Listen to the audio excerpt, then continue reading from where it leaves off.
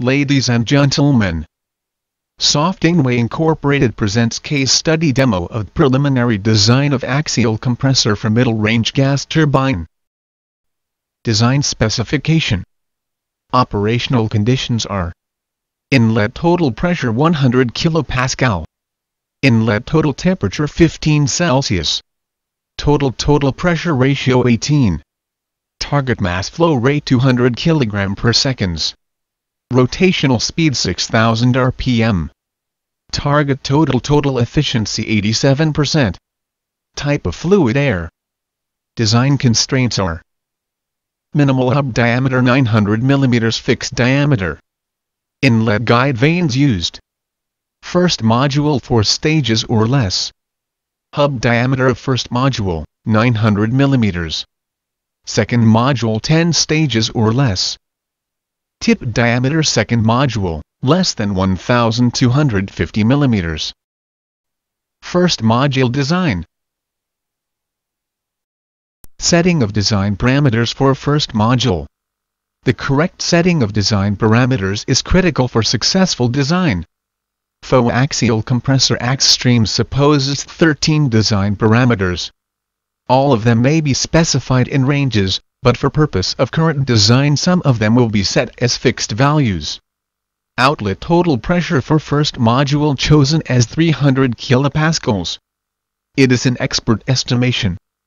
Outlet flow angle for IGV is set in a range of 65 up to 89 degrees from tangential. Setting parameters in range allows AxStream to choose an optimal value. Hub diameter for first module is fixed at 900 mm according to specification. First blade length is set in a range of 200 up to 350 mm. Work coefficient is specified in a range of 0.2, 0.5 which correspond to middle loaded stages.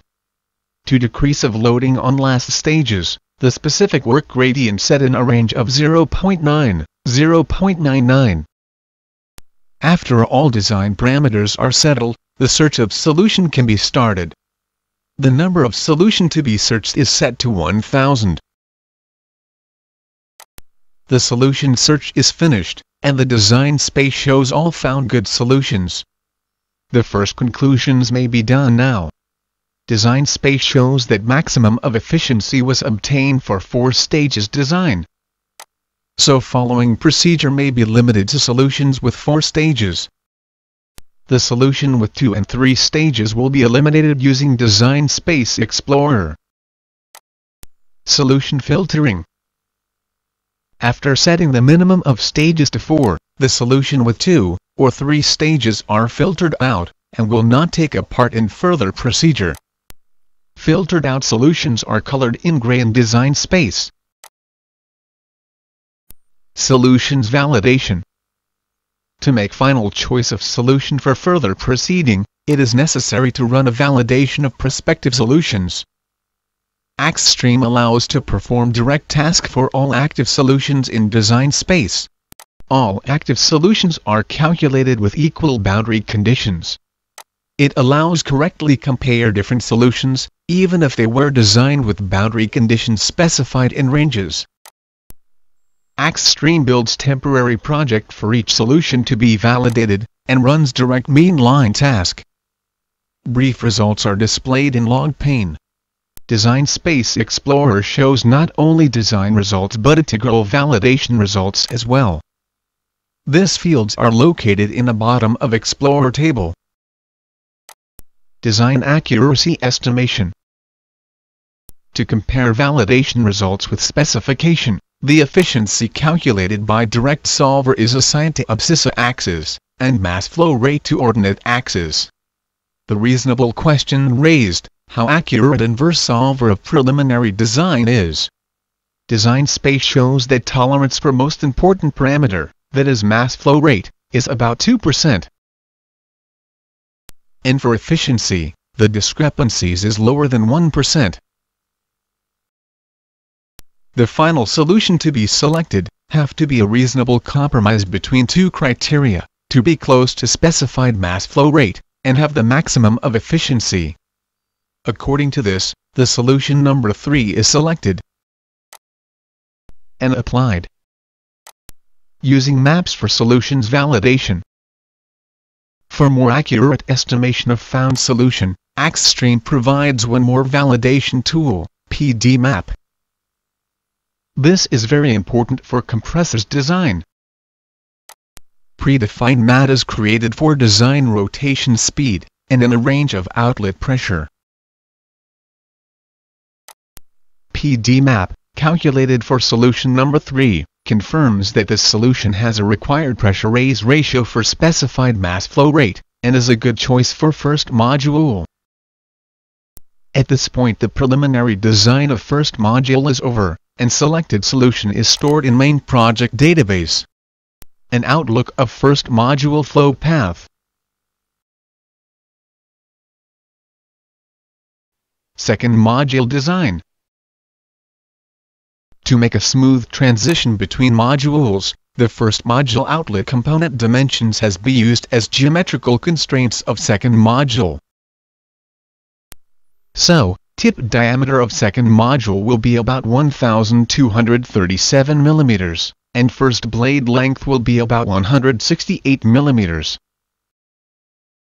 Design setup for second module. Special option allows to inherit inlet pressure and temperature from upstream module. Tip diameter and first blade length are specified according to last component of upstream module. Other design parameters are set according to specification. And second module preliminary design started. Estimation the results of second module design. Design space, obtained in result, shows a number of distinctly separated groups of solutions. This groups corresponds to solutions with different number of stages. The six stages solutions are filtered out, and validation started for remain solutions. Solutions Batch Validation Set up boundary conditions for direct solver run. To estimate the results of validation direct solver results have be associated with design space axes.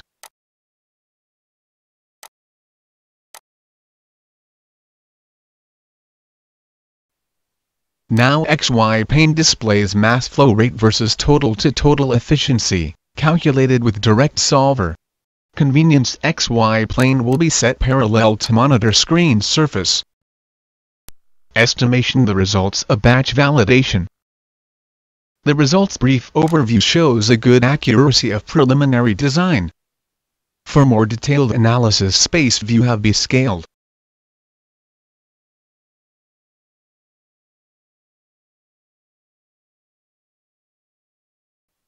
Scaled space shows that mass flow rate discrepancies for solutions with maximal efficiency are within 1% range.